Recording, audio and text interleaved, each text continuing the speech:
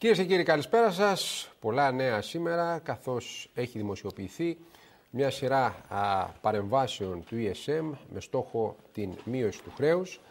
Έχουμε άνοδο στο χρηματιστήριο. Όλοι, α, όλα τα βλέμματα είναι στραμμένα στο κατά πόσο μπορεί να ολοκληρωθεί η αξιολόγηση πριν το νέο έτος. Μάλιστα θεωρείται πια δεδομένο ότι θα πάμε σε δύο δόσεις και βεβαίως να πούμε ότι άγωνος κηρύχθηκε ο διαγωνισμός για την ιδιωτικοποίηση του ΔΕΣΦΑ, για την πώληση στη ΣΟΚΑΡ. Τελικώς δεν ευρέθη λύση, η εγγυητική έληξε και θα έχουμε νέο διαγωνισμό όπου πιθανώς το μοντέλο θα είναι διαφορετικό και πιθανώς το δημόσιο να κρατήσει ποσοστό της τάξης του 51%. Να ξεκινήσουμε όμως σήμερα από τον καλεσμένο μας. Καλεσμένος μας σήμερα είναι ο πρόεδρος τη Επιτροπής Κεφαλαίου Αγοράς, ο κύριος Χαράλαμπος Γκότσης. Κύριε Γκότση, καλησπέρα. Καλησπέρα, κύριε Προεδρελή. Ε, ξέρω ότι πολλές φορές ε, μας έχετε κάνει τιμή να έρθετε στην εκπομπή μας στο Blue Sky Economy τα τελευταία χρόνια. Σας είχαμε χάσει, αλλά νομίζω ότι είναι ιδιαίτερα επίκαιρο το ότι είστε σήμερα μαζί μας, διότι αρχίζουμε να βλέπουμε σημάδια ανάκαμψης στους ελληνικούς τίτλους. Ε, αστειευόμενος να σας πω ότι περίμενα να ανέβει το χρηματιστήριο σήμερα. Ναι. Για να μην με ρωτάτε γιατί πέφτει το χρηματιστήριο, γιατί τις ερωτήσεις που παίρνω τον τελευταίο καιρό, Ναι. ω να είναι δικιά μου υπόθεση αυτή, Ναι. είναι γιατί πέφτει το χρηματιστήριο. Βλέπουμε ότι αυτή τη στιγμή το χρηματιστήριο είναι στο υψηλό έτου. Το Ναι. ξέρετε. Άρα λοιπόν ε, τα νέα από ό,τι φαίνεται είναι καλά και το λέω αυτό με τα λόγου γνώσεως, διότι Ναι.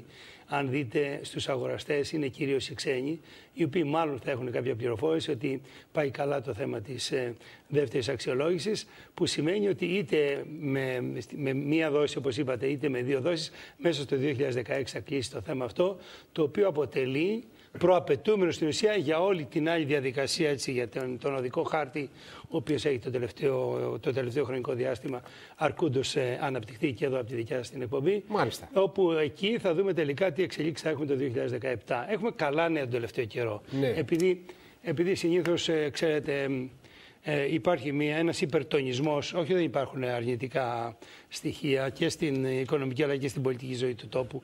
Ε, και ξέρετε ότι εγώ δεν φίδομαι ε, την, Εσείς να- έχετε να- να δρά- παρακολουθήσει να δράξω ως την ευκαιρία. καθηγητής Ε, όλο ακριβώς. τον κύκλο των μνημονίων. Ακριβώς, ακριβώς. Άρα σε κάποια φάση θα πρέπει να κάνετε και έναν απολογισμό, ίσως και, και, μια αυτο- έκδοση. και αυτοκριτική έχω κάνει, να ξέρετε. Ναι.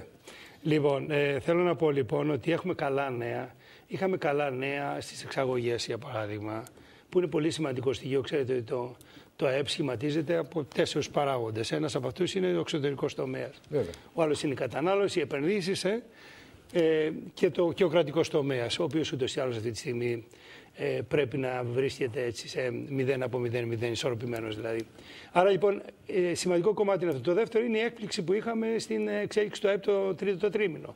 Ε, δεν το περιμέναμε, φαντάζομαι κανένας μας, ότι θα είναι τόσο σημαντική η βελτίωση του ΑΕΠ στο 1,8 το τελευταίο Λοιπόν, τρίμηνο. θα σας κάνω εγώ μια κάτι που δημοσιογραφική σημαίνει, ερώτηση με αυτά που λέτε. Ότι, ότι κάλυψε λίγο πολύ τη ζημιά του πρώτου Υπήρχε εξαμήνου. μία είδη στο Banking News τις περασμένες ημέρες ότι οι fans είδανε τον Υπουργό Οικονομικών, τον κύριο Τσακαλώτο και έλαβαν ιδιαίτερα αισιόδοξες εκτιμήσεις για το ΑΕΠ των επομένων τριμήνων ε, τις ε, προηγούμενες ημέρες. Υπάρχει κάτι τέτοιο σε γνώση σας και ε, αν αυτό, σε αυτό δεν θέλετε να αναφερθείτε, τι εικόνα έχετε από το ενδιαφέρον των ξένων για ελληνικούς τίτλους για να μπούμε στη συνέχεια και να μας πείτε και τι προγραμματίζεται και όσον αφορά ομολογιακές εκδόσεις, οι οποίες στόχο έχουν να δώσουν αναπνοή ρευστότητα στις ελληνικές επιχειρήσεις. Κοιτάξτε, οι ξένοι περιμένουν σαφώς να τελειώσει.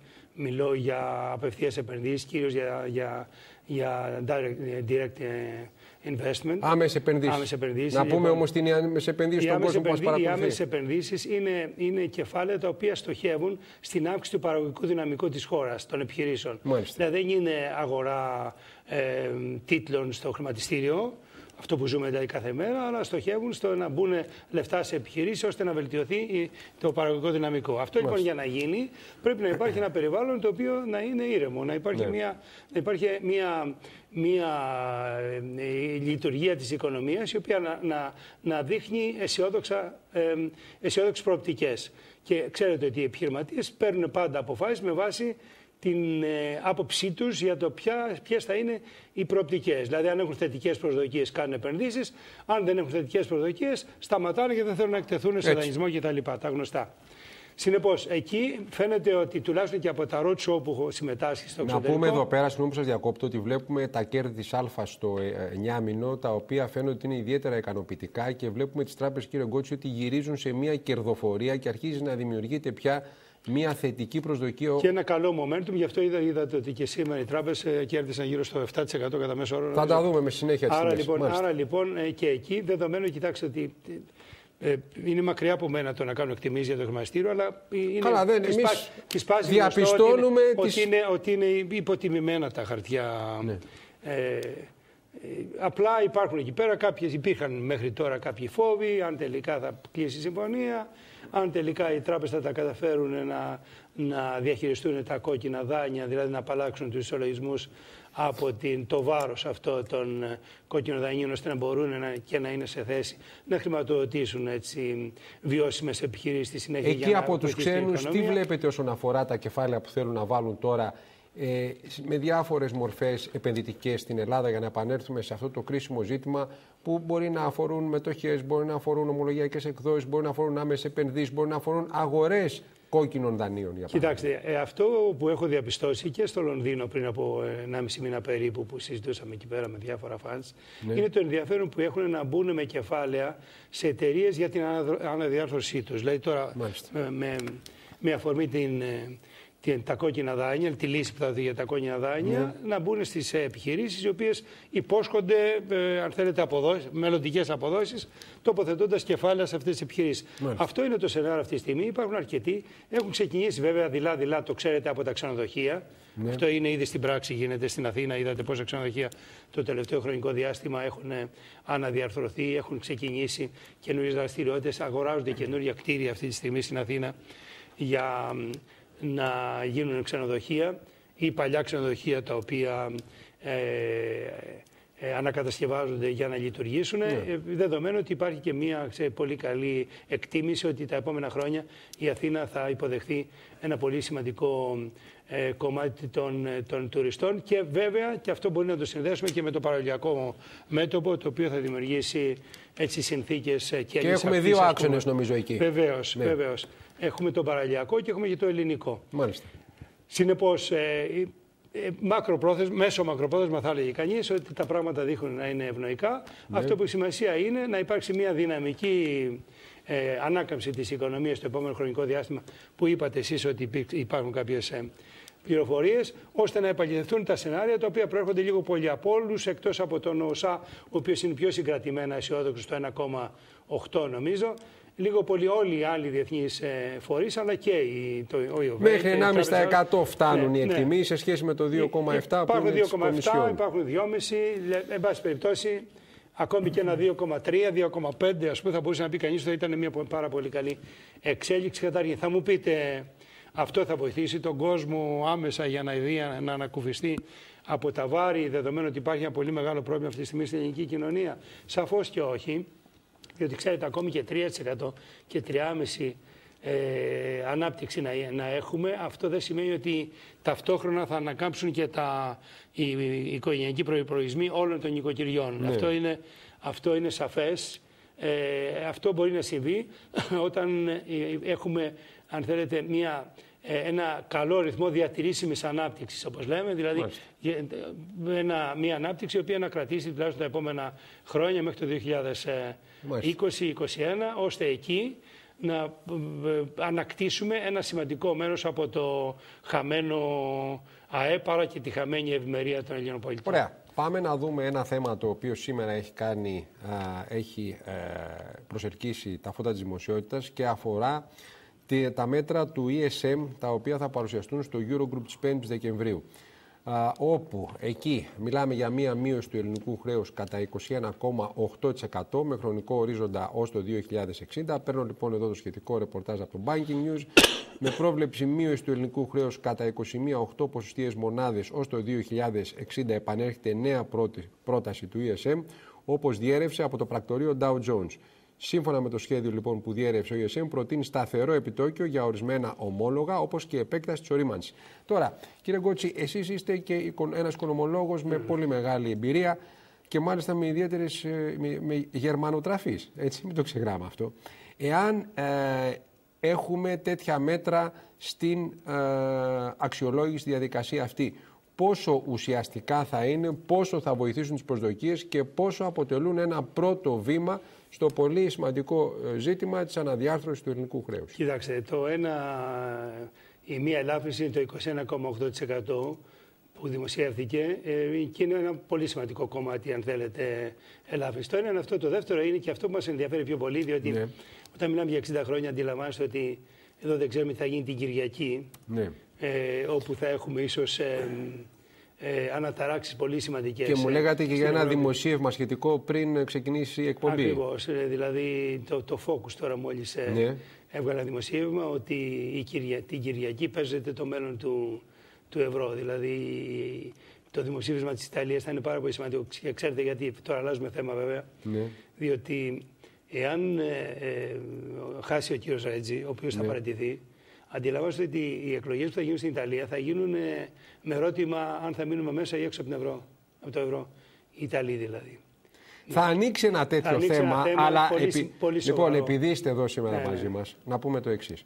Αυτό είναι κάτι το οποίο έχει συζητηθεί σε πολιτικό επίπεδο. Εγώ θέλω να μας κάνετε μια εκτίμηση.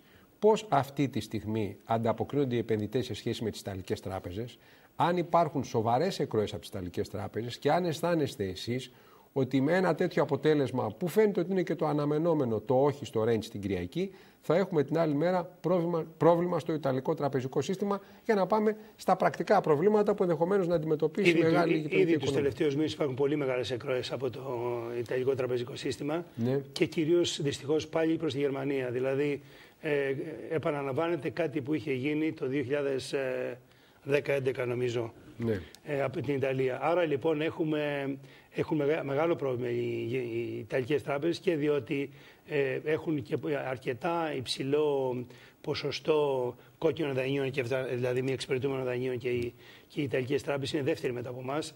Άρα υπάρχει πολύ μεγάλο πρόβλημα στο Ιταλικό τραπεζικό σύστημα. Και βέβαια, ξέρετε ότι το Ιταλικό τραπεζικό σύστημα έχει πολύ μεγάλες τράπεζες, δεν είναι σαν τις δικές μας. Η, η Unicredit, για, παράδειγμα. για παράδειγμα δραστηριοποιείται όχι μόνο στην Ιταλία, αλλά έχει και μία, έχει εξαγοράσει και την ε, Bank, ξέρετε, στην, στη Γερμανία. Έχει και μία τράπεζα στην, ε, στην Αυστρία. Δηλαδή είναι μία τράπεζα η οποία λειτουργεί πολυεθνικά, αν θέλετε, ναι. και με, με ε, πολυσυστημική έτσι, σημασία για το ε, τραπεζικό σύστημα της ε, Ευρώπης. Άρα εκεί τα πράγματα θα δυσκολέψουν πάρα πολύ. Δεν είναι δηλαδή μόνο η μικρή τράπεζα η, η, του Βατικανού, η οποία ναι η οποία έχει τα γνωστά προβλήματα και η οποία ίσως ε, κάποια στιγμή από ό,τι φαίνεται έχει δρομολογηθεί η αντιμετώπιση τους. Ε, η, το θέμα των ε, Ιταλικών τραπεζών είναι πάρα πολύ μεγάλο. Αλλά που είναι ε, τώρα έτσι απλά επειδή υπάρχει μια άγνοια γύρω από το θέμα τη της Ιταλίας, θα πρέπει να σημειώσουμε ένα πράγμα. Ότι η Ιταλία μετά από εμάς που χάσαμε το 25% του ΑΕΠ, έχει 12,5% το ΑΕΠ δεν έχει χάσει κάτω από το 2009. Ε, το μισό από τη μισή ζημιά που έχουμε πάθει εμείς, έχει πάθει αυτή η πολύ μεγάλη οικονομία. Δεν είναι λοιπόν το τυχαίο το γεγονός ότι υπάρχουν τέτοιες αντιδράσεις και από τον Ιταλικό Βέβαια. λαό. Λοιπόν, έχω εδώ πέρα όμως ένα δημοσίευμα του MNI, το οποίο είναι το πολύ γνωστό γερμανικό πρακτορείο, το οποίο λέει το εξής. Μιλάει για μείωση του στόχου για τα πρωτογενή πλεονάσματα στο πεδίο του 2% του ΑΕΠ μετά το 2018 θα μπορούσαν να αποδεχθούν οι Βρυξέλλες, καθώς η συγκεκριμένη χρονιά είναι προεκλογική. Σύμφωνα με το πρακτορείο, η συμμετοχή του Διεθνούς Νομισματικού Ταμείου στην, στο ελληνικό πρόγραμμα για την Αυρozώνη δεν έχει ξεκαθαριστεί ακόμα και το MNI επικαλείται διαβαθμισμένα έγγραφα του Ταμείου που περιλαμβάνουν τετραετή ή διετή βοήθεια στην Ελλάδα. Μία ομάδα μέσα στο Διεθνές Νομισματικό Ταμείο θέλει έξοδο από το πρόγραμμα ή αυστηρά μέτρα για την Ελλάδα. Αν το Ταμείο δεν συμμετάσχει στο πρόγραμμα, η Ευρωζώνη θα αναγκαστεί να αναθεωρήσει την έκθεση για τη βιωσιμότητα του χρέους, τονίζει το πρακτορείο. Είναι στο SkyGR αυτό το δημοσίευμα. Ένα ε, σχόλιο, κύριε Γκότση, τι μπορεί να σημαίνει τώρα όλα αυτά; Αυτά δύο, οι δύο προτάσεις, που τα δύο προγράμματα, διετές ή τετραετές.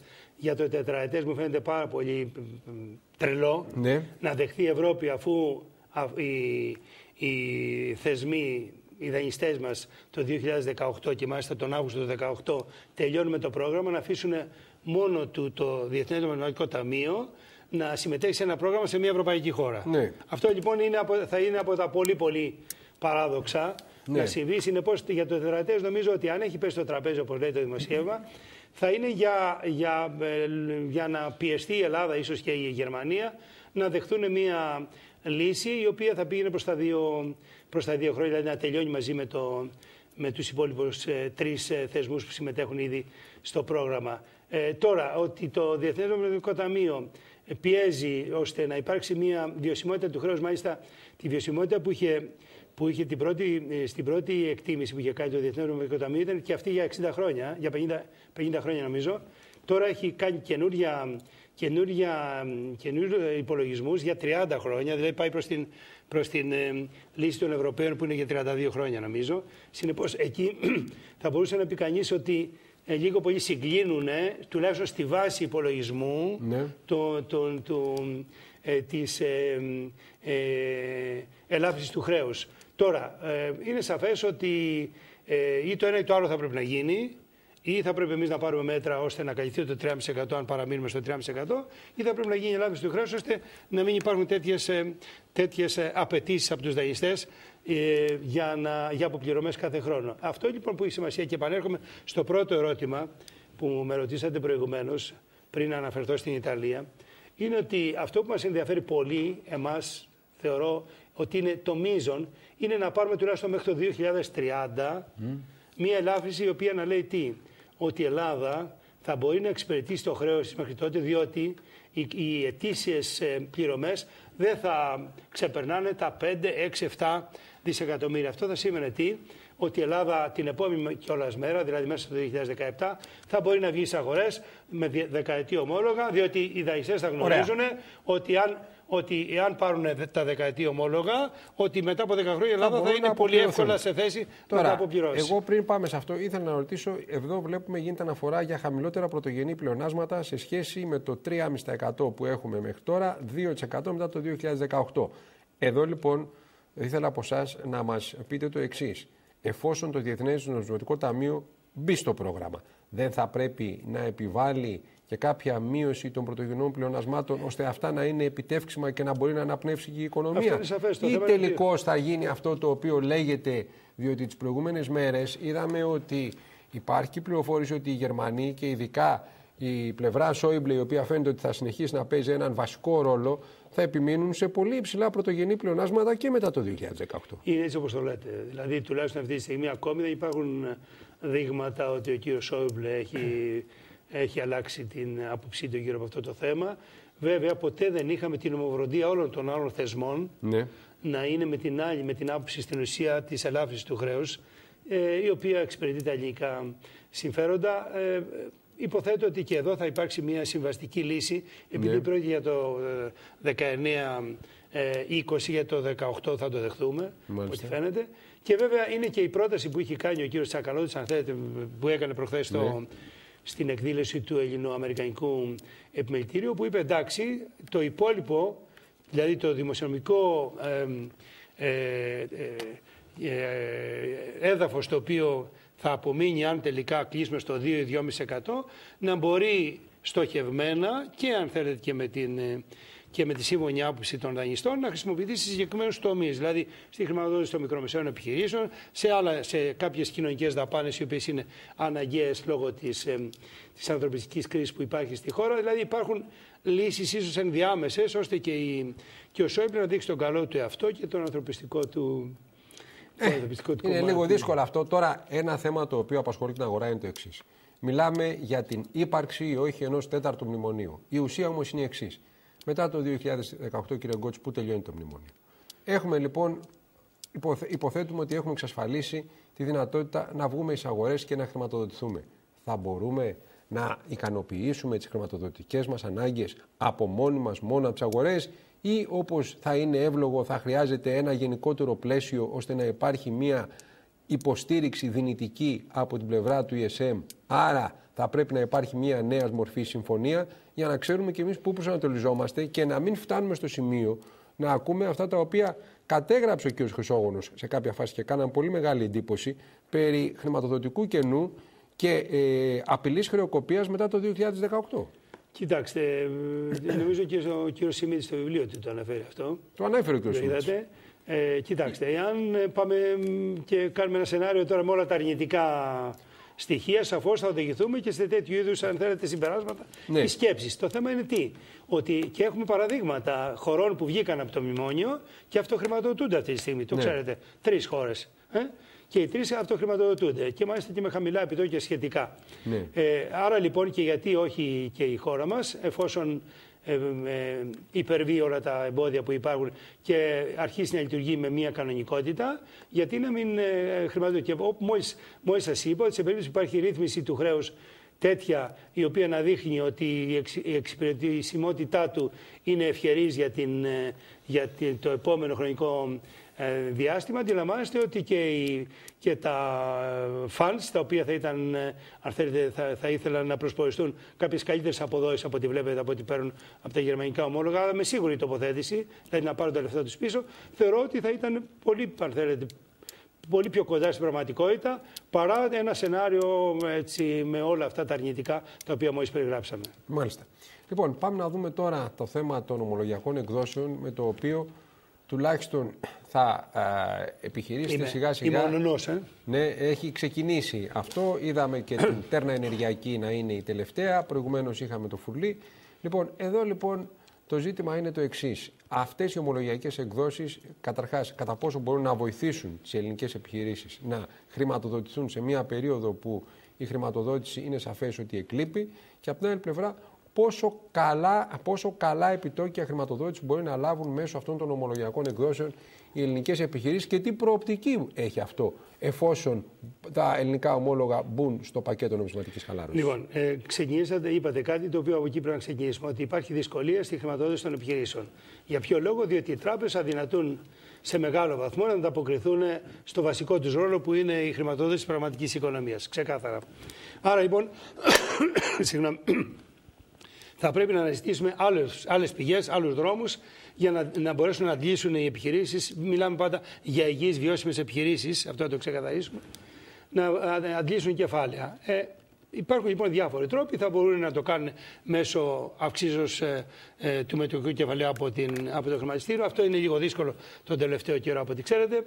Το μόνο λοιπόν εργαλείο το οποίο παραμένει και το οποίο χρησιμοποιείται διεθνώς, γιατί βλέπουμε ότι συνεχώς ο τραπεζικός δανεισμός μειώνεται στο σύνολο του, του δανεισμού των επιχειρήσεων και αντικαθίσταται όχι τόσο πολύ από ε, κεφάλαια που αντλούν από το χρηματιστήριο, αλλά κυρίως από εναλλακτικές, από εναλλακτικές μορφές χρηματοδότησης. Μία από αυτές είναι και τα εταιρικά ομόλογα. Τα εταιρικά ομόλογα, τα οποία βέβαια δεν είναι καινούρια στη χώρα μας, αλλά είναι καινούρια σαν θεσμός και σαν αγορά ε, και σαν ε, αγορά στο χρηματιστήριο αξιών Αθηνών, ε, και θέλω να σας πω ότι. Διαπραγματεύονται πάντως αρκετές ομολογιακές επιχειρήσεις εκδίδουν σε ξένες αγορές ομόλογα και διαπραγματεύονται στο Λονδίνο κυρίως. Και εκδίδονται ή στο Λουξεμβούργο ή στο. Πάντως και στο ελληνικό. Ακριβώς. Και στην ελληνική κεφάλαια αγορά έχουμε ομολογιακές εκδόσει. Λοιπόν, στο ελληνικό λοιπόν χρηματιστήριο, στο ναι. ελληνικό χρηματιστήριο λοιπόν αυτή τη στιγμή. Ναι υπήρξε ένα εμπόδιο για να υπάρχουν εκδόσεις και στη συνέχεια να διαπραγματεύονται, δηλαδή στην ουσία να μπορεί κανείς να αγοράσει, να πουλήσει δευτερογενώ τα χαρτιά του. Ναι. Υπήρξε ένα μεγάλο εμπόδιο το οποίο λεγόταν δικαιοπρακτικό επιτόκιο, δηλαδή δεν επέτρεπε στην, ε, στην αγορά στην ουσία να λειτουργήσει ελεύθερα και να σχηματίσει το επιτόκιο. Ε, εάν αυτό ε, ε, υπερεύαινε το 5,3%. Το οποίο είχε θεσπιστεί με νόμο του 1977 επί αλής του μνήμης ε, Νομισματικής Επιτροπής. Δηλαδή ήταν μια στρέβλωση πάρα πολύ σημαντική, την οποία την ε, εισηγηθήκαμε στο Υπουργείο Οικονομικών και καταργήθηκε και αυτή τη στιγμή λοιπόν τα επιτόκια σχηματίζονται ελεύθερα στην αγορά. Ε, αυτό λοιπόν ξεκίνησε, αυτή η προσπάθεια ξεκίνησε από το Σεπτέμβριο ήδη. Έχουμε το πρώτο μόλο, έχουμε, είχαμε ένα από το MLS, ξέρετε το καλοκαίρι. Ένα δεύτερο το οποίο, το οποίο ήταν πολύ σημαντικό και το οποίο ήταν πολύ επιτυχές, δεδομένου ότι η έκδοση περιμέναμε να πάει μεταξύ 15 και 40 ε, εκατομμύρια και ακόμη και 15 θα γίνονταν αποδεκτή. Ξεπέρασε τα 50 εκατομμύρια σε προσφορά, άρα ήταν πολύ επιτυχημένη. Ναι. Υπάρχει λοιπόν και αυτό που ξέρουμε και από τις επιχειρήσεις, υπάρχει πολύ μεγάλο ενδιαφέρον να αξιοποιήσουν επιχειρήσεις αυτή την αγορά και να βγουν και να προσφέρουν ομόλογα, δηλαδή στην ουσία ε, δανειακούς τίτλους, έτσι, έτσι για να καταλάβει και ο κόσμος που δεν που δεν ξέρει, Άρα που εφόσον... έχουν σταθερές αποδόσεις. Άρα, εφόσον τα ελληνικά ομόλογα μπουν στο πακέτο νομισματικής χαλάρωσης, θα μπορούν οι επιχειρήσεις να αντλήσουν περισσότερα κεφάλαια και με καλύτερους όρους. Και προσδοκούν ότι αυτή η αγορά θα αναπτυχθεί στο επόμενο διάστημα. Προσέξτε, για τις επιχειρήσεις έχει πολύ μεγάλη σημασία όχι μόνο ε, το επιτόκιο, αλλά και να κάνουν και μία αναδιάρθρωση του χαρτοφυλακίου δανείων τους. Ναι. Δηλαδή έχουν τραπεζικά δάνεια, να έχουν και δάνεια απευθείας από τους επενδυτές τους. Γιατί τα ομόλογα... Να μειώσουν το κόστος χρηματοδότησης, έτσι. Και να μειώσουν αλλά και το προφίλ της χρηματοδότησης. Πολύ σημαντικό. Ναι. Να μην εξαρτώνται μόνο από τον τραπεζικό δανεισμό, ναι, ναι. αλλά να έχουν και ανεξάρτητο δανεισμό. Το βλέπουμε αυτό και έξω, ναι. όπου υπάρχουν ε, περιπτώσεις αρκετές όπου οι τράπεζες προσφέρουν χαμηλότερο επιτόκιο από, τα εταιρικά, από εκείνο το εταιρικό ορμό και μόνο τα αυτά προτιμούν σε κάποιο βαθμό... Σε τις ομολογιακές σε, εκδόσεις. Ακριβώς, ακριβώς. Τώρα, ε, το χρηματιστήριο, κύριε Γκότσο, όπως ξέρετε καλύτερα από μένα, βασικά πρέπει να εξυπηρετεί την άντληση κεφαλαίων για τις επιχειρήσεις. Να γίνονται κάποιες αυξήσει κεφαλαίου, να παίρνουν οι επιχειρήσεις κεφάλαια και να μπορούν να αναπτύσσονται. Εκτιμάτε ότι μπορούμε να δούμε αυξήσεις κεφαλαίων πάλι στο ελληνικό χρηματιστήριο την επόμενη χρονιά, εάν οι προποθέσει είναι οι αντίστοιχες μετά από μια επιτυχία αξιολόγηση; Και νέες εισαγωγές εταιριών θα πρέπει να δούμε. Κατά την άποψή μου, όχι μόνο. Υπάρχει τέτοιο ενδιαφέρον; Και, και, και νέες, γιατί έχω μείνει μόνο στο ένα εργαλείο που φτιάσαμε έτσι μετά από την ε, ανάληψη της διοίκησης ναι. ε, της νέας διοίκησης ε, στην Επιτροπή Κεφαλαίου Αγοράς. Ε, είχα δώσει υπόσχεση τότε και τα είχαμε πει, αν θυμόσαστε, ναι. ότι θα κάνουμε δύο-τρία πρακτικά πράγματα για να βοηθήσουμε την αγορά. Ναι. Το ένα ήταν τα, τα εταιρικά ομόλογα που αφορά τις μεσαίες και μεγαλύτερες επιχειρήσεις. γιατί πολύ μεγάλες σας είπα ότι μπορούν να βγουν και στο εξωτερικό να, ναι. να βρουν λεφτά. Και το δεύτερο είναι τις μικρομεσαίες επιχειρήσεις και τις startups, δηλαδή τις νεοφύσεις, αυτές που ξεκινάνε τώρα έτσι με αυτές τις πολύ ωραίες ιδέες. Ναι. Αυτές λοιπόν οι επιχειρήσεις τώρα, το, μέσω του crowdfunding, όπως λέγεται αυτό το εργαλείο, ναι. θα μπορούν να χρηματοδοτηθούν, να αναπτυχθούν και οι πιο ενδιαφέρουσες από αυτές στη συνέχεια να εισαχθούν και στο, στο χρηματιστήριο. Αυτό είναι πάρα πολύ σημαντικό και αυτά τα μηνύματα τα παίρνουμε, αν θέλετε, και από τους ανθρώπους της αγοράς, διότι εμείς την ουσία φτιάχνουμε απλά το θεσμικό ε, πλαίσιο όσο καλύτερα γίνεται, αδρώντα την εμπειρία των, των ξένων ε, αγορών και μεταφέροντας ε, στοιχεία τα οποία βλέπουμε ταιριάζουν στην ελληνική, στο ελληνικό ε, επιχειρησιακό περιβάλλον. Το οποίο είναι πληγωμένο. Λοιπόν, πριν ολοκληρώσουμε, να δούμε και τα αποτελέσματα της Α, όπου ήταν ιδιαίτερα ικανοποιητικά. Να πούμε λοιπόν ότι τα αποτελέσματα προ-προβλέψεων ενισχύθηκαν κατά 4,2% σε ετήσια βάση, ανήλθαν σε 896,4 εκατομμύρια ευρώ. Τα κέρδη μετά από φόρους διαμορφώθηκαν σε 41,2 εκατομμύρια ευρώ το τρίτο τρίμηνο και σε 22,2 εκατομμύρια το εννιάμινο. Άρα βλέπουμε το γύρισμα από, την, από τις ζημιές κατά το πρώτο τρίμηνο διότι τα συνολικά κέρδη είναι μεγαλύτερα. Άρα υπήρξε μια ζημιά στο πρώτο τρίμηνο που μειώνει ε, το, το ποσοστό, το, το αποτέλεσμα το οποίο βγαίνει. Δηλαδή έχουμε 22 εκατομμύρια στο εννιάμινο ένα, και 41,2 στο τρίτο για να διορθώσω. Άρα στο τρίτο η κερδοφορία κάλυψε και ένα μέρος των ζημιών. Και έτσι στο 9 μήνο συνολικά είναι στα 22,2. Λοιπόν, να πούμε επίσης ότι με βάση τα αποτελέσματα, και αυτό έχει σημασία, καταγράφηκε σημαντική μείωση των νέων μη εξυπηρετούμενων ανοιγμάτων στην Ελλάδα, όπως τα σε ελεύθερη μετάφραση αποδίδονται, κατά 71% σε ετήσια βάση για το 9 μήνο του 2016. Ο δείκτης δανείων σε καθυστέρηση ανήλθε σε 38,3% στο τέλος Σεπτεμβρίου 2016. Δεν νομίζω ότι είναι ιδιαίτερα υψηλός. Και, και, και, τρίτο, και τρίτο ναι. αυξήθηκε και η καταθέση της τράπεζας. Θα το δούμε και αυτό. Οι νέες καθυστερήσεις μειώθηκαν κατά 78% σε ετήσια βάση. Ο δείκτης καλύψεως καθυστερήσεων ανέρχεται σε 68% επιτρέποντας την εφαρμογή, όπως αναφέρει η τράπεζα, του επιχειρησιακού σχεδίου. Οι προβλέψεις για κάλυψη πιστοτικού κινδύνου το τρίτο τρίμηνο ανήλθαν σε 257 εκατομμύρια ευρώ και στο 9 μήνο οι προβλέψεις για την κάλυψη πιστοτικού κινδύνου μειώθηκαν κατά 24% σε ετήσια βάση. Τώρα, λέγατε κάτι και για τις καταθέσεις. Ναι, αυξήθηκαν οι καταθέσεις κατά ναι. 3 νομίζω με 4 δισεκατομμύρια περίπου. Ναι. Ε, αυτό είναι πάρα πολύ σημαντικό διότι για να επιστρέψουν οι τράπεζες στην κανονικότητα και να έχουμε και την άρση, την ολοκληρωτική άρση των capital controls, χρειάζονται καταρχήν δύο πράγματα. Πρώτον, η επιστροφή στην κερδοφορία για να, να, να, να ανακτηθεί η εμπιστοσύνη και δεύτερον η, η, η συνεχής ε, θέλετε, επιστροφή καταθέσεων κυρίως από το εσωτερικό δηλαδή εδώ από, την, από τα στρώματα προς τις, ε, προς τις τράπεζες, ώστε σιγά σιγά να ανακτηθεί εμπιστοσύνη και να τελειώνουμε αυτό το, με το θέμα των capital controls, δεδομένου ότι ε, και βέβαια ε, εφόσον και το μακροοικονομικό περιβάλλον βελτιωθεί, ώστε μέσα στο, στο 17 θεωρώ μέχρι το καλοκαίρι να έχουμε μια, μια ε, επιστροφή αν στην κανονικότητα από πλευράς ε, άρσης των capital controls. Ήταν ένα θέμα το οποίο, το οποίο στήχησε στην ελληνική οικονομία, δεν το συζητάμε και στήχησε πιο πολύ και για, και για λόγους ε, όχι μόνο ε, ε, από πλευράς αν θέλετε ζημιών αλλά κυρίως για λόγους συμβολικούς θα λέει κανείς διότι μια σύγχρονη οικονομία μέσα στην Ευρώπη δεν επιτρέπεται να χρησιμοποιεί τέτοια, τέτοια εργαλεία. Παρότι θα μπορούσε να πει κανείς και θα έχετε συνομιλητές εδώ φαντάζομαι που θα σας είπαν ότι είχαν και τις καλές πλευρές τους τα, τα capital controls.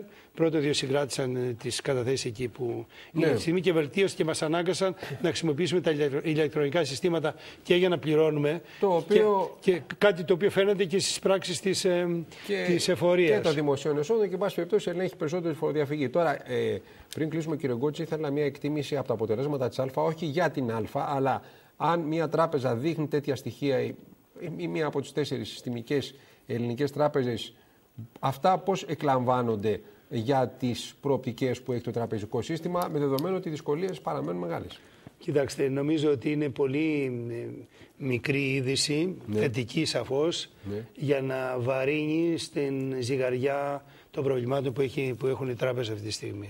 Και το μεγάλο πρόβλημα είναι τα, τα κόκκινα δάνεια. Πρέπει να φύγουν από το ενεργητικό των τραπεζών το μεγάλο κομμάτι. Ούτως ή άλλως υπάρχει υποχρέωση μέχρι το 10, τέλη του 19 το 40% να έχει φύγει. Είναι ένα, ένα στίχημα πολύ σημαντικό. Θα έχετε δει ότι καμία κυβέρνηση μέχρι τώρα δεν, έχει, δεν τα έχει καταφέρει να το, ε, να το ξεκινήσει καν. Ε, αυτό... Κάπου όμως θα πρέπει να αντιμετωπιστεί. Θα και για την κοινωνία, αλλά και τα για τις επιχειρήσεις. Τα νούμερα αυτά, επειδή εμείς, τα λέγαμε και παλιότερα, θυμόσαστε ότι έχουν ξεκινήσει από 30 δισεκατομμύρια. Και φτάσανε, ε, έχουν φτάσει, φτάσει πάνω από 100. Ε, βέβαια. Και αυτό είναι ένα πρόβλημα πάρα πολύ σημαντικό. Είναι το, το νούμερο ένα, κατά την άποψή μου, σημαντικό. Είστε αισιόδοξο ότι μπορεί τώρα να αντιμετωπιστεί; Είμαι αισιόδοξος ούτως ή άλλως για την ελληνική οικονομία, διότι η χώρα μας έχει πολύ σημαντικές δυνατότητες ανάπτυξης.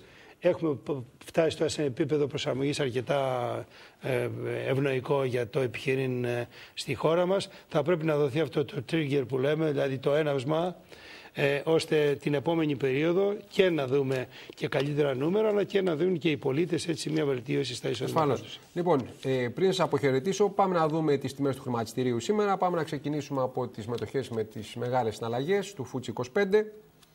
Λοιπόν, εδώ είναι μια καλή μέρα σήμερα με μια άνοδο η οποία προσέγγισε το 3%. Ε, να πούμε ότι σήμερα είχαμε και το rebalancing του MSCI το οποίο τι κάνει, να διαρθρώνει το βάρος που έχουν στον δίκτυ όσον αφορά τις ελληνικές ε, μετοχές ε, μετά από το κλείσιμο της σημερινής συνεδρίας. Βλέπουμε λοιπόν ανωδικά το Τιτάνα 3,15% έχει σήμερα τον υψηλότερο τζίρο 21,30 α 6,15 στο 1,90 πλησιάζει την τιμή της έκδοσης Πυραιός με σημαντική άνοδο πλησιάζει τα 20 Σένς 0,19,9, Εθνική 0,22, είχε αρκετό καιρό η Εθνική να φτάσει σε αυτά τα επίπεδα επίσης 6,8% η άνοδος, ο ΠΑΠ 8,80 1,15, 0,77, 10,47 η άνοδος για τη Eurobank, 8,62,38 η άνοδος για τον ΟΤΕ, ιστορικά υψηλά για την Jumbo 13,42 συν 2,21, το Folly Folly Group με ε, οριακή ε, απώλεια 12,22 η Motorola συν 2,26 κρυβάλια επίσης σήμερα στους υψηλότερους τζίρους. Οι τζίροι νομίζω κύριε Γκότσι ακόμα δεν έχουν ανέβει όσο μπορούν στο ελληνικό χρηματιστήριο. Παραμένουν σε πολύ περιορισμένα επίπεδα 4,22% πάμε να δούμε και την επόμενη κάρτα. Βλέπουμε εδώ πέρα τις, όλες τις μετοχές του FUTS 25, Γεκτέρνα 2,27, 1,79 η άνοδος, ΔΕΗ 3,07 3,72% η άνοδος, 3,6% και για τον Ελάκτορα. Πάμε στην επόμενη. Ε, εδώ έχουμε τα ελληνικά πετρέλαια 1,17, 4,33. Τα ελληνικά πετρέλαια βεβαίως τα οποία δεν θα πάρουν τη ρευστότητα που περίμεναν καθώς δεν ολοκληρώθηκε η πόλη του Δέσφα. Μέτκα 7,20, ΜΙΓ 0,12,9, 4% η άνοδος, Motoroil 12,22. Πάμε και στην τελευταία στήλη. Εδώ έχουμε και την τελευταία στήλη, Μητυλνέος 5,93 και τενέργα 2,82, 1,44%. Πάμε να δούμε και τις διεθνείς αγορές. Λοιπόν, έχουμε εδώ τις διεθνείς αγορές. Ιστορικά υψηλά πάντα για την Αμερικάνικη αγορά Dow Jones 10.196, S&P 2.208, 2.400 δίνουν οι προβλέψεις ε, ότι θα είναι ο S&P στο τέλος της επόμενης χρονιάς. Α, έτσι λέει η Societe Generale, πιο γρήγορα πιστεύει η Goldman ότι θα τα γράψει και στη συνέχεια θα διορθώσει. Πάντως το 2.400 είναι το όριο που δίνουν τώρα για τον S&P. Βλέπουμε τα ευρωπαϊκά χρηματιστήρια σε στάση αναμονής. Λέγαμε ότι είναι πολύ αισιόδοξη προβλέψεις τη Societe Generale για τον DAX στι 12.000. Πάμε να δούμε και την τελευταία κάρτα με τα νομίσματα. Και βλέπουμε το ευρώ να παραμένει πολύ αδύναμο, 1,0595 και σιγά σιγά μια σταθεροποίηση της τερλίνας και ένα του ευρώ. Κύριε Γκότσα, σας ευχαριστήσω πάρα πολύ που ήσασταν σήμερα μαζί μας. Μόνο τα, τα, και για την αγορά ομολόγων έχουμε και βελτίωση των, του επιτοκίου στο 6,5. Νομίζω είχαμε σήμερα. Του δεκαετούς ναι, ελληνικού ομολόγου. Οι επιχειρήσεις δανείζονται ακόμα καλύτερα. Οι αποδόσεις τους είναι πολύ χαμηλά πια, διότι πάρα πολλά ομόλογα των ισχυρών επιχειρήσεων των ελληνικών είναι σε πάρα πολύ καλά επίπεδα. Έτσι. έτσι. Λοιπόν, καλά, ευχαριστώ πολύ. Πάμε στο σύντομο διάλειμμα και αμέσως μετά και πάλι μαζί.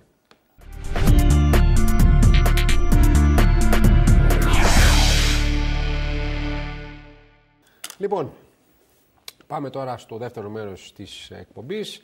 Μαζί μας ο Άγης Βερούτης. Άγη, καλησπέρα. Καλησπέρα σας. Λοιπόν, έχουμε ένα περιβάλλον, Άγη μου, το οποίο δείχνει ότι η αξιολόγηση μπορεί να ολοκληρωθεί. Να πούμε ότι υπάρχει μια πληροφόρηση όσον αφορά τα εργασιακά, που λέει ότι μπορεί να τα βρούμε με τους πιστωτές στο εξής, να πάρουμε το θέμα των συλλογικών διαπραγματεύσεων και να αυξηθεί το όριο των ομαδικών απολύσεων κάτι το οποίο θα δώσει την ε, δυνατότητα να υπάρξει μια σύγκληση σε ένα πολύ κρίσιμο ζήτημα όπου καταγράφουν ε, οι πηγές ότι θα έχουμε εκεί μια πολιτική λύση. Υπάρχει πάρα πολλή πληροφόρηση από όλα τα μέτωπα σήμερα. Να πούμε ότι ε, αναφερθήκαν προηγουμένως σε δημοσίευμα του MNI περί μικροτέρων πρωτογενών πλεονασμάτων. Να πούμε επίσης ότι υπάρχει πληροφόρηση στο Βερολίνο, βέβαια το Βερολίνο ότι το Διεθνές Νομισματικό Ταμείο θα παραμείνει στο ελληνικό πρόγραμμα και ε, φυσικά υπάρχει πληροφόρηση από πρωί για μέτρα τα οποία μιλούν για περικοπές στο ΕΚΑΣ, για περικοπές σε επιδόματα, για περικοπές στις φοροαπαλλαγές, για να κλείσει αυτή η συμφωνία. Ε, ήθελα λοιπόν, Άγια, από σένα να μου ε, κάνεις ένα πρώτο σχόλιο, πώς βλέπεις ναι. να διαμορφώνεται το περιβάλλον και ε, εάν νομίζεις ότι αυτό το περιβάλλον είναι εκείνο που θα δώσει στην οικονομία τη δυνατότητα να αναπνεύσει και ποιες κατά τη γνώμη σου είναι οι πολιτικές που θα πρέπει να ε, αυτή τη στιγμή πλαισιώσουν αυτό που βλέπουμε διότι ακούω και από ένα μέρος αγοράς μια αίσθηση ότι δεν υπάρχει αυτή τη στιγμή η δυναμική για να μπορέσει να υπάρξει προσέλκυση επενδύσεων ε, στον, στην ελληνική οικονομία. Κοιτάξτε, η ελληνική οικονομία είναι μια οικονομία στην οποία η υπερφορολόγηση είναι ο κανόνας παρά η εξαίρεση. Ουσιαστικά στο τελευταίο 1,5 χρόνο έχουμε δει περί τα 9 δισεκατομμύρια ευρώ μέτρων και προκειμένου να κλείσει αυτή η αξιολόγηση δεύτερη, η οποία φυσικά την αφήσαμε μέχρι την απολύτως τελευταία στιγμή για να κλείσει, δηλαδή 5 Δεκεμβρίου είναι η τελευταία προθεσμία ε, που θα ήταν δυνατόν να, να, να έχουμε. Ε, προβλέπεται ότι θα χρειαστούν άλλα 2,5 δισεκατομμύρια μέτρων χωρίς να έχουν ξεκινήσει να λειτουργούν τα μέτρα που από 1η Πρώτου του 2017 θα αυξήσουν στο 27-38% τις εισφορές για τους ελεύθερους επαγγελματίες και τους μικρομεσαίους. Ε, θα αυξήσουν τα τσιγάρα, θα αυξήσουν τη βενζίνη, θα μειώσουν το λεγόμενο κοινωνικό μέρισμα. Μιλάμε ουσιαστικά για την προοπτική να δοθούν το 2016 με το πετρέλαιο στα 0,92 cents περί τα 105 εκατομμύρια ευρώ. Αυτό που αναφέρει και η πληροφόρηση για τον, να κλείσει αξιολόγηση είναι ναι. ότι θα περικοπούν τα επιδόματα για το Ακριβώς. πετρέλαιο θέρμανσης. Ακριβώς. Λοιπόν, ε, ουσιαστικά μιλάμε για ε, μέτρα τα ναι. οποία χτυπάνε όλα στην τσέπη των αδύναμων. Και από την άλλη πλευρά βλέπουμε μια άρνηση να γίνει οποιοδήποτε νοικοκύρεμα στο λειτουργικό κόστος του κράτους και δεδομένου του γεγονότος ότι συζητούμε και για περαιτέρω κόψιμο του ΕΚΑΣ που έχουν ήδη κόψει 940 εκατομμύρια από το ΕΚΑΣ ε, σε λιγότερο από ένα χρόνο, σε, σε λιγότερο από τους τελευταίους 12 μήνες, ουσιαστικά μιλάμε για ένα κράτος το οποίο θα παίρνει χρήματα μόνο για να πληρώνει ε, συνταξιούχους ως επιτοπλίστων παραπάνω από 50% μικρότερους από την ηλικία συνταξιοδότησης των 67 ετών, συν ένα δημόσιο τομέα όπου είχαμε αύξηση ουσιαστικά κατά 150 εκατομμύρια στους μισθούς των δημοσίων υπαλλήλων στον τελευταίο χρόνο.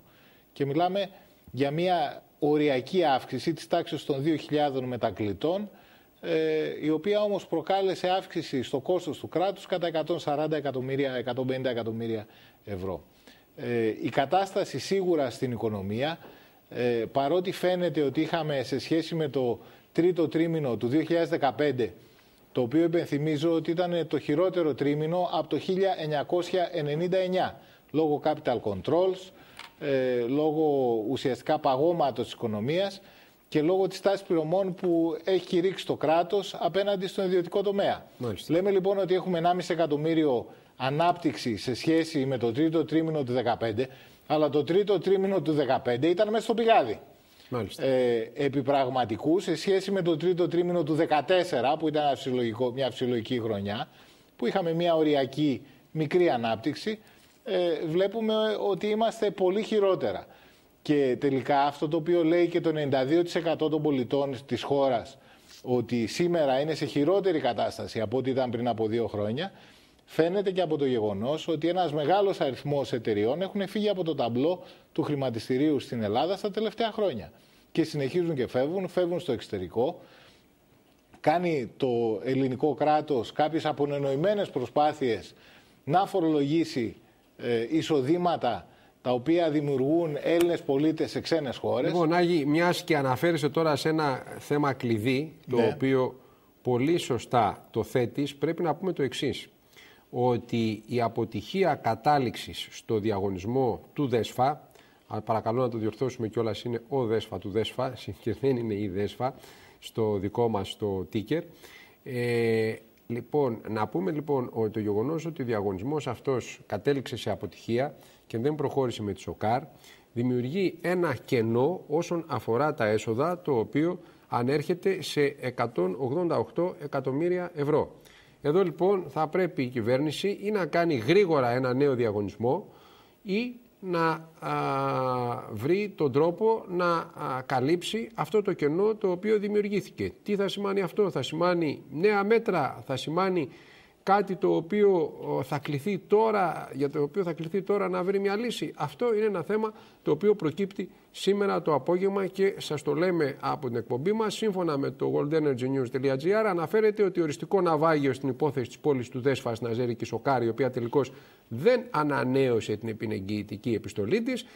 Ε, αυτό είναι το γεγονός. Το οριστικό ναυάγιο ε, ε αφορά μια αποκρατικοποίηση που έρχεται από το 2013 και ε, από εδώ και πέρα ξεκινάνε, ε, ε, ξεκινάνε νέα ζητήματα που έχουν να κάνουν με το τι θα γίνει με το ΔΕΣΦΑ μιας και μέσα στην συμφωνία του μνημονίου είναι η αποκρατικοποίησή του. Θα δούμε ποιες λύσεις μπορεί να βρεθούν σε αυτήν την κατεύθυνση και εκείνο που επίσης πρέπει να πούμε είναι ότι η άνοδος του πετρελαίου έχει φτάσει, κοντεύει να φτάσει στο 10% σήμερα μετά τη συμφωνία που υπάρχει στον ΟΠΕΚ. Είναι το Brent κοντεύει στα 52 δολάρια και το crude κοντεύει στα 49,50. Άγιοι. Ναι, μην ξεχνάμε πριν από δύο χρόνια, τέτοια εποχή, το πετρέλαιο ήταν στα 80 δολάρια, έτσι.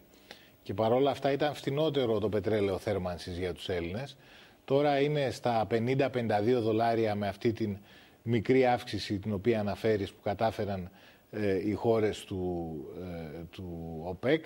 Αλλά ε, για τον Έλληνα πολίτη το πετρέλαιο θέρμανσης πλέον έχει 92 cents. Δηλαδή έχει 50% σχεδόν αύξηση, 48% αύξηση από ό,τι είχε πριν από δύο χρόνια. Αυτά γενικότερα μέσα στην οικονομία είναι μέτρα τα οποία θα πλήξουν αναπόφευκτα την κατανάλωση και θα κάνουν ακόμα δυσκολότερη την ανάκαψη της οικονομίας της χώρας. Ταυτόχρονα βέβαια με τα οικονομικά θέματα δεν θα πρέπει να ξεχνάμε και τις προκλήσεις στις οποίες λόγω της αδυναμίας μας γινόμαστε στόχος σε ό,τι αφορά τα εθνικά θέματα.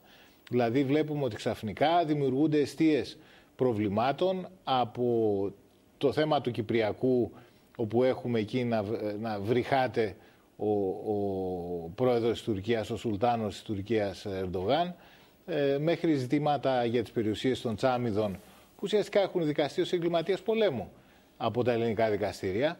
Ε, και τώρα ξαφνικά βλέπουμε ότι αρχίζουν και δημιουργούνται θέματα και με τους ε, βόρειους γείτονές μας ε, από τα Σκόπια. Ε, όταν αποδυναμώνεται μια χώρα στο βαθμό που έχει αποδυναμωθεί η Ελλάδα, είναι φυσικό ότι αυξάνεται το ρίσκο και ο κίνδυνος να δημιουργηθούν εθνικά θέματα καινούρια και να έχουμε μια εθνική καταστροφή. Και αυτό το πράγμα αντικατοπτρίζεται και στη γνώμη των Ελλήνων πολιτών, που είναι η πρώτη φορά στα τόσα χρόνια, από τότε που γίνονται δημοσκοπήσεις, όπου βλέπεις, όπου φαίνεται αρχηγός της αξιωματικής αντιπολίτευσης, ο Κυριάκος Μητσοτάκης, να έχει ψηλότερη δημοφιλία από τον ενεργεία πρωθυπουργό. Δηλαδή να θεωρείται καταλληλότερος από τον ενεργεία πρωθυπουργό.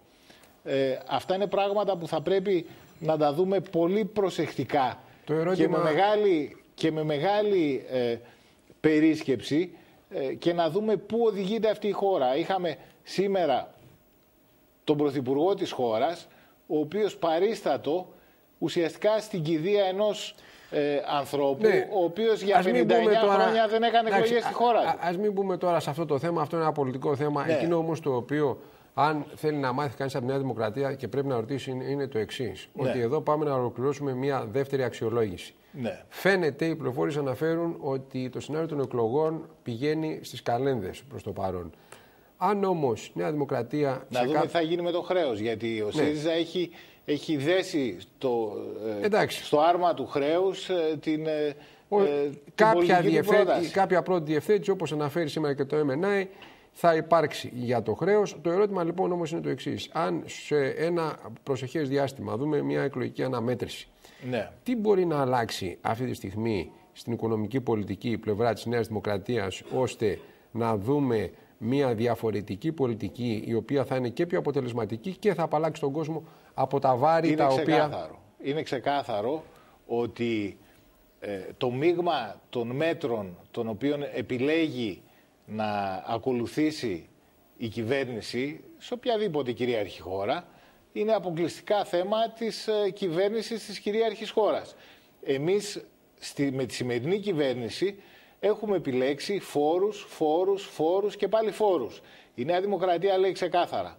Θα μειώσουμε την φορολογική επιβάρυνση κυρίως στους μικρομεσαίους και στα ασθενή οικονομικά στρώματα και θα μειώσουμε για να μπορέσουμε να, πά, να ζητήσουμε λιγότερα χρήματα και να πάρουμε λιγότερα χρήματα από τους οικονομικούς, ε, οικονομικά ασθενείς, θα μειώσουμε το κόστος λειτουργίας του κράτους.